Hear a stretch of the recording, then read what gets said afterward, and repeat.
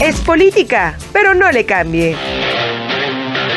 Una radiografía del proceso electoral, sus actores y el contexto desde una perspectiva periodística. De la Vera con 42 minutos, 8.42, señoras y señores, bienvenidos a la olla de los grillos y qué privilegio poder saludarles a través de esta señal. Jaime Guerrero, Juan Pérez Obdelo, ¿cómo están? Bienvenidos, buenos días. Buenos días, Humberto, Juan, muy buenos días y buenos días al auditorio. Humberto, Jaime, buenos días, auditorio, buenos días. Le aseguro a usted que este no será debate o esa simulación que hicieron ayer, eh, pero sí vale la pena ir re, re, revisando algo de los, de los asuntos. No escuché eh, movimientos bruscos en este debate eh, guardaron posiciones, mantuvieron discursos, salvo la intención de reformar el Poder Judicial, cada quien con sus matices. Lo único nuevo que escuché del, del debate, o alguien encontró algo más. Mira, yo creo que, perdón, Javito, no, este, la, bueno, hace rato ya, en una entrevista telefónica ya te hicieron toda la radiografía del debate, ¿no? Como si lo necesitaran. Sí, la verdad. Entonces, pero sí hubo temas importantes, mira, sobre todo por las temáticas que se abordaron, ¿no? Sobre todo el tema de seguridad y narcotráfico. Es decir, creo que fue, a mí se me hizo un despropósito, por ejemplo, defender la política actual cuando se sabe que hay 186 mil muertos todo lo, y que vemos la frontera sur y demás. Y, pero sí salieron algunos temas, por ejemplo, como volvió Xochitl Galvez a estar un poco puntillosa ¿no? en relación a, a, a, la, a, la, candidata, a la doctora Claudia Sheinbaum. Entonces hubo ciertos temas que se abordaron, sobre todo el de migración, el de política exterior, la política social, vivienda, eh, los problemas sociales, en fin. Creo que fue, es, dejaron para este debate la, temas verdaderamente importantes para el pueblo de México. ¿no? Entonces, a mí me pareció muy importante, por ejemplo, bueno, la defensa de, de la, de, de, del actual gobierno de tener una política exterior, digo, cuando se sabe que todos son improvisados, la mayoría, ¿no? Entonces, la política de migración, por un ejemplo, retroceso a nivel sí, totalmente, mundial, totalmente. Digo, no es gratuito, por ejemplo, que, que tres que embajadores hayan, hayan sido declarados personas no gratas en Perú, en Bolivia y en Ecuador. Es decir, hay una ruptura totalmente con toda tradición. Y sí, lo que dices bien es lo del poder judicial, ¿no? Que inclusive, bueno, pues la propia este Xochitl Gálvez dijo que estaba de acuerdo, ¿no? No deja, no deja la, candidata a la 4T de estar incidiendo respecto a la corte, ¿no? A la corte. Y el papel, por ejemplo, de Jorge Maínez, pues fue el de un simple esquirol. Digo, realmente lo vimos constantemente eh, cuestionando el, el, pasado, ¿no? A Felipe Calderón, a, Vicente Fox, volvieron otras cosas al pasado. Hubo propuestas, y sí las hubo propuestas, ¿no? En relación a, varias, a los temas, a las temáticas que abordaron. Sí, hubo propuestas, yo vi a una Claudia Sheinbaum totalmente rígida, ¿no? Este, escuchando los, los disparos, ¿no? Los, este, la, fue un tema preocupante, por ejemplo, de que, de que el propio eh, Mario Delgado esté en una lista de, de, de, de, una carpeta de investigación por los autoridades de Estados Unidos, ¿no? Pero digo, en general creo que no se apartó de los esquemas, de esquema normal. Claro. Hoy fue un poco más como que el formato fue un poco más relajado, ¿no? Así, ese es mi punto de vista. Yo, yo, yo, coincido en gran parte en lo que dice Juan y, y, la verdad es que no cambió mucho el guion del segundo debate en términos de que Xochitl Galvez eh, arremetió la estrategia de, del contraataque y el ataque directo en contra de, de Claudia Sheinbaum y sobre todo eh, retomando en una ocasión la frase de narcocandidata que le está prohibida por, por el Instituto Nacional claro. Electoral por lo que implica una presunta, eh, bueno, sobre todo difamación en, en, torno a utilizar esta parte de este calificativo. Eh, en, definitiva me parece que este debate no cambiaba mucho y no se esperaba que cambiara porque viene en la tónica de lo que ha sucedido en los últimos días en, relación a las campañas, es decir, una presión constante eh, del de PAN, el PRI y el PRD y particularmente de Alejandro Moreno Cárdenas en contra de Ale, Jorge Álvarez Maínez eh, a declinar, lo cual no sucedió y insistentemente pues atacando a este candidato y calificándolo de esquirol, lo cual evidentemente sucedió el día de ayer, Álvarez Maínez conteniendo, atacando eh, a Xochitl Galvez, no así con Claudia Sheinbaum, Claudia Sheinbaum no mencionó ni una sola vez al presidente de México ni sus políticos. Y sobre todo eh, me parece que eh, también a Claudia Sheinbaum no la, no la tocó simplemente dejó pasar y se dedicó a atacar a, a Xochitl Galvez, Claudia Sheinbaum esquivando los ataques, eh, ponderando las políticas del presidente de la República, Andrés Manuel López Obrador, y, trabajo en el y haciendo sus propuestas, planteando sus propuestas, es decir, no cambió el guion, eh, creo que era lo que se esperaba, es sintomático de lo que últimamente ha venido sucediendo en las campañas, el 26 de, el 29 de, de mayo cierra campaña la candidata presidencial en la Ciudad de México y es donde pues creo que este debate no va a cambiar en mucho las tendencias. No sé si haya cambiado la forma de las personas para en la intención del voto. no creo, la ¿eh? forma. Lo que sí queda claro es que ya no es el paseo eh, de domingo en la plaza pública para la candidata. Esta elección no es un paseo ya. Se dieron cuenta que tienen algunos problemas serios, que Veracruz eh, está casi perdido Fíjate, por ejemplo, Morelos. Claro. Fíjate cómo, cuál es al inicio del, al inicio del debate, ¿no? Por ejemplo, eso es contundente, ¿no? Contundente, digo, porque sí permeó en la, en la, en la opinión pública. Humberto Jaime. Por ejemplo, dice, ¿no? Bueno, eh, dice Xochil Galvez, ¿no? Dice, esos dijeron que primero los pobres, ¿no? Primero los pobres, pero les fallaron, ¿no? Los que han salido muy bien son los hijos del presidente de la República, Rocío Nale con su yerno, este, eh, Manuel Bartlett y su hijo, ¿no? En fin, hubo temas que la verdad, digo, más allá de todo que la, sociedad, la ciudad mexicana lo sabe y que están enterados, al menos el que medianamente informado lo sabe perfectamente bien, los problemas que hemos tenido con la cuestión energética, que eso sí lo puntualizó eh, Maynes, ¿no? sabe muy bien la inseguridad que hay en el país, ¿no? la inseguridad que hay en el país y lo que ha, lo, que ha dejado, por ejemplo, hasta, inclusive, por ejemplo, ayer creo como un atentado contra el, candidato de Morena a la presidencia municipal de Mapastepec, Chiapas, donde hubo cinco muertos, ¿no? Entonces, candidata. Fue candidata. Sí, Entonces, este, este tipo de cosas, por ejemplo, bueno, pues digo, no puede, ya no pueden sorprender a la opinión pública. Es decir, ya el pueblo de México ya despertó, ya digo, ya tiene, digo, si, si lo dice la doctora Shema, es despertó desde 2018, cuando le apostó el, el, voto a la cuarta transformación, quiere decir entonces que ya no se le puede sorprender. No, lo que sacaba Xochitl era, seguido era una cartulina, como decía Claudia Miente, y la tenía con una nariz Hasta la extendía, ¿no? La extendía, extendía, se extendía, pero no, ya digo, inclusive de los ataques fueron hasta eso. Pero a ver, Juan, Jaime, ¿para qué es el debate? Sí, claro, para, la para contrastar ideas. Claro. No me vengan con conductas puritanas cuando la estrategia de los partidos de izquierda, toda su vida, toda, toda, toda, toda su vida, fue la de puntillar, golpear y denostar y descalificar al gobierno en turno. Así es. El que fuera. Sí, totalmente. Pero ahora que son gobiernos... Y han sido vividores del Pero por favor no nos digan nada. Esto no es la lógica política de este país. Decían la frase esta que tú mencionas, que el pueblo de México despertó.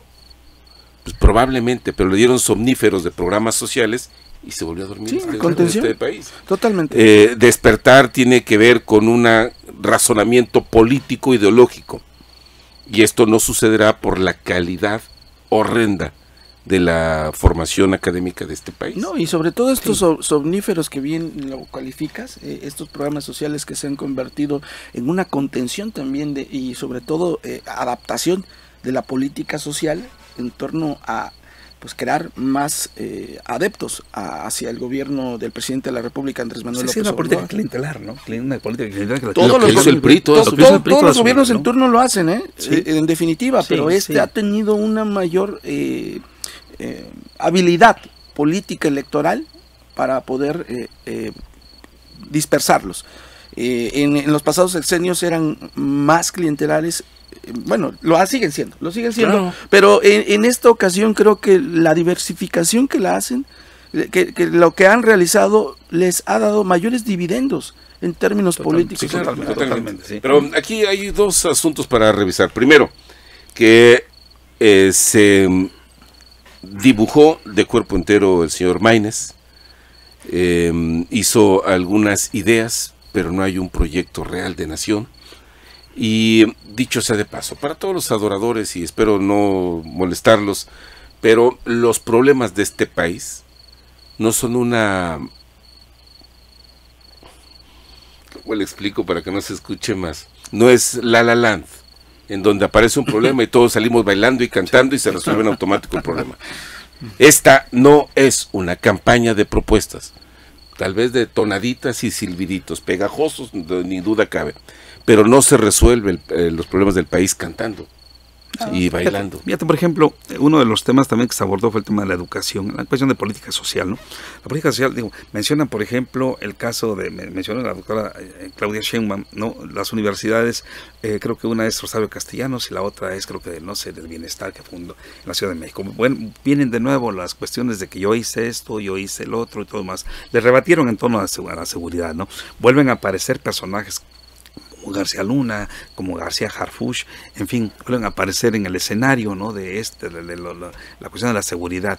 Pero en por, ejemplo, el caso de las universidades de bienestar, que, tanto, tanto se cacareó. Digo, pues yo no veo, no veo resultados, ¿no? Realmente lo que lo, lo único que vi, se vio y, se, y que se criticó, por ejemplo, ahí, fue la reducción del presupuesto a las universidades públicas, ¿no? Lo que implica que que es donde aspira la gente de menores recursos para poder ingresar, bueno, pues están, están limitadas, ¿no? Pero son las universidades que hacen la investigación, claro, en este país. Entonces, lo digo, está el caso de las universidades de bienestar o universidades Benito Juárez o cómo se llama, ¿no? La que, o el presidente, pues yo no veo resultados ahí. Pero hubo varios temas, temas controvertidos, ahí el tema de la migración, por ejemplo.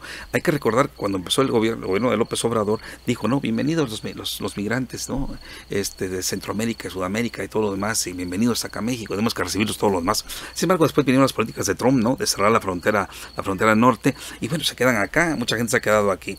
¿Y esto qué implica? No implica lo que propuso Claudia Sheinbaum, una reunión con el presidente de Guatemala y con el presidente de Belice para crear un fondo, o para crear una cuestión, un grupo eh, multinacional y impedir la, inmigración a México, sino también, y tampoco que el gobierno de Estados Unidos vaya a crear de buena manera darle recursos a aquellos países que expulsan migrantes, de los cuales México es uno de ellos, ¿no?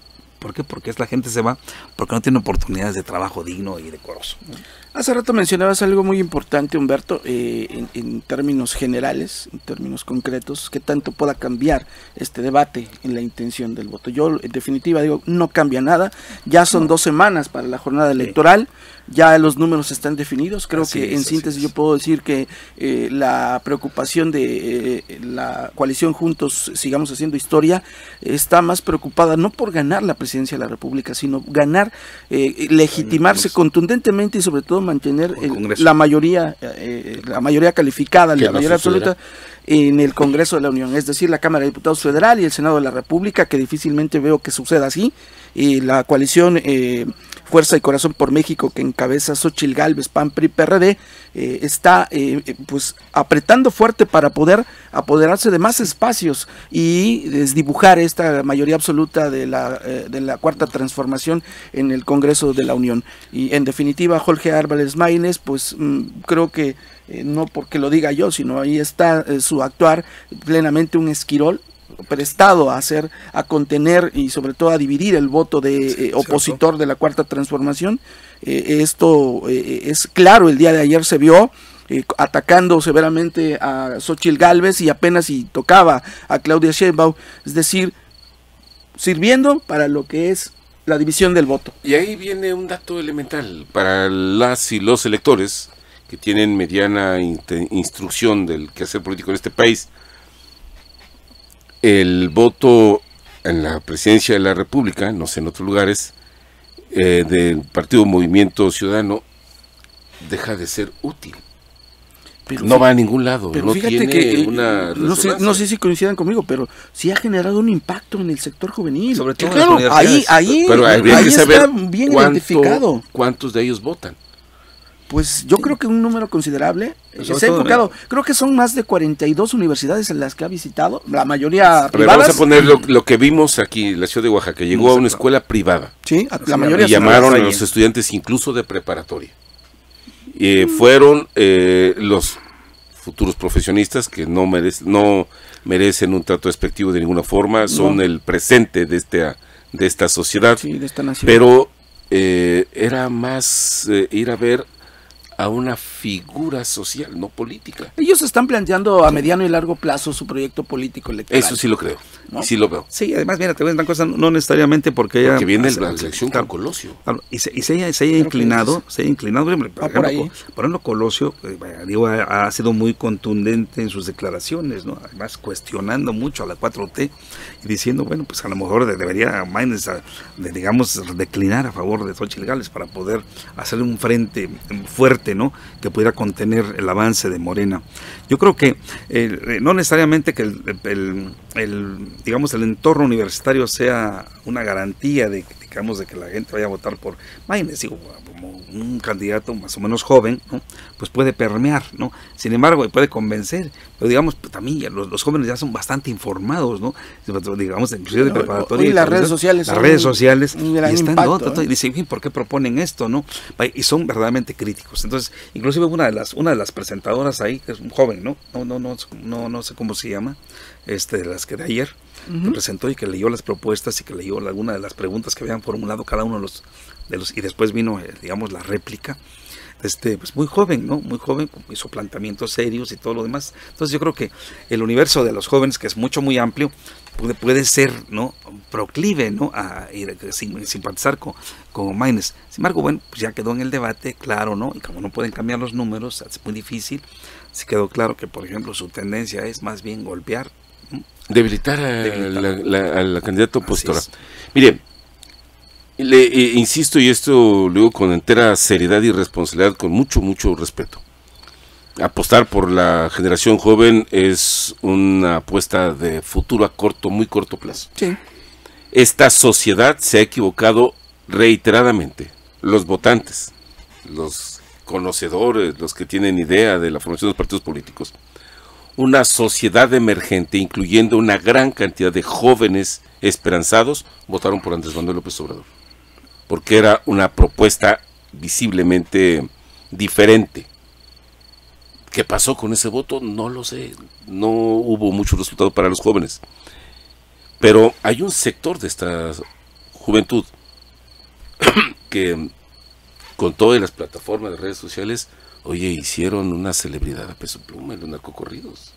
Los corridos tumbados. Pues sí, sí, sí, Y el, los ritmos estos que sexualizan, hipersexualizan a las mujeres no sé si este sea un futuro para la nación. No, yo creo que también eh, la, misma ciudadanía y los jóvenes también tienen que reflexionar qué es lo que quieren de una nación. No solo es idolatrar a un cantante, sino también analizar y hacer una introspectiva y sobre todo eh, ver hacia adelante la sociedad que queremos, es decir, eh, que tanto los jóvenes están capacitados, y, no lo dudo, ¿eh? hay, hay una gran generación de, de jóvenes Trabajadores, intelectuales, pintores, creadores. hay, esto, ¿no? Es, fíjate que es, dices bien, efectivamente, a veces como que las prioridades entre, este sector de la población pueden ser otras, ¿no? Pueden ser más bien a veces un tanto cuanto frívolas de la actualidad, de los, retos de la modernidad, ¿no? O de la posmodernidad, como la han llamado algunos, ¿no?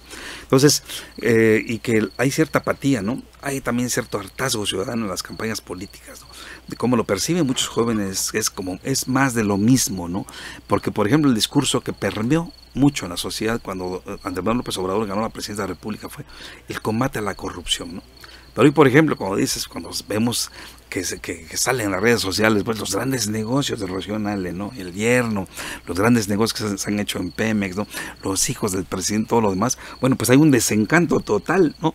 Total, sobre todo, dice, pues ahí está, pues antes era la Casa Blanca, ¿no? Pues ahora la Casa Gris de, de Houston, ¿no? Antes era... y dentro de poco va a ser la Casa Rosada de Xochitl. entonces, es, este... Los escándalos inmobiliarios, lo, importante es que, bueno, creo que además el único de los tres que, que digamos, candidatos, ¿no? Eh, fue es que llamó al voto, ¿no? Llamó al voto, creo que fue Maynes nada más, pero los demás... Sí, y lo ha dicho, ¿eh? Él, eh, eh, él, lo ha dicho en reiteradas ocasiones. si no quieren votar por mí, no voten, pero por mí, pero voten. Es decir, llama a los jóvenes, aquellos que tienen la posibilidad, salir a votar. Y yo creo que eso es fundamental. Pero también la ciudadanía no es salir a votar por votar. Es, tenemos que reflexionar, tenemos que eh, analizar cada una de las propuestas, qué tanto son viables, qué tanto se le quiere dar continuidad al, régimen en turno, qué tanto eh, quieren ustedes cambiar de opción gubernamental lo fundamental es que la ciudadanía hoy por hoy reflexione su voto, analice, o sea, qué es lo que queremos de, los gobiernos en turno, qué tanto nos han respondido y sobre todo cómo queremos transformar a nuestra sociedad. El, asunto es que yo veo que el próximo 2 de junio es como si fuéramos a hipotecar nuestra casa. ¿Con quién la llevarías? Eso es lo que tenemos que reflexionar. Mejor digo, yo creo que todavía es, tiempo de que, por ejemplo, más allá de las tendencias y que beneficien a, sobre todo a Xochitl, digo, a, Claudia Sheinbaum en este momento, digo, pero por ejemplo, es el voto razonado, lo que lo que mucho se habla es del voto razonado, es decir, que la gente tiene que razonar más allá de tendencias, más allá de cuestiones de beneficios personales o de, de, de cuestiones ideológicas o fijaciones, ¿no? políticas, hay que, hay que reflexionar sobre la necesidad de hacer de este país, bueno, pues ponemos un país seguro, un país en paz, un país gente de trabajo, ¿sí? No se trata nada más de criticar y decir que los problemas sociales se van a quitar y que, o, que ya están en la Constitución, ¿sí? Todo eso, hay una serie de factores que tiene la ciudadanía, el ciudadano común y corriente, que reflexionar en torno a quién dar su voto.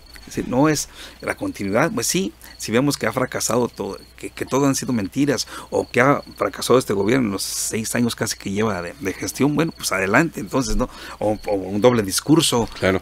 me parece que al final de cuentas, con esto cerraríamos, eh, si usted así lo considera, me dio la impresión que el debate dibujó de nueva cuenta la clase política de este país, en donde la reyerta sirve para demostrarnos que este país no tiene futuro. ¿Y la polarización? Debe de la polarización no tiene futuro. Eh, Vamos. Eh, eso en particular, esa polarización no, nos va a llevar a ningún, nos va a llevar a ningún lado. ¿no? En términos generales, eh, tienes razón, Humberto, esta polarización ha generado, además de crispación, truncar los proyectos de futuro de la nación. Si hay futuro de nación, pero nosotros como ciudadanos, la ciudadanía, le debemos marcar el rumbo y la ruta al gobierno. claro. Somos nosotros realmente en realidad quienes le tenemos que marcar la ruta. El futuro del país me parece que no está en la clase política. Sí, no, no va a estar. Además hay mucho, demasiado deterioro, ¿no? Demasiado, demasiado deterioro. Además, el sistema de partidos políticos está bastante desgastado ya. Tiene que haber un cambio radical para esto. Bueno, caballeros, muchas gracias. Humberto, Juan, muchas gracias. Señor, señora, nos escuchamos el jueves. Por favor, denos la oportunidad. Hasta entonces.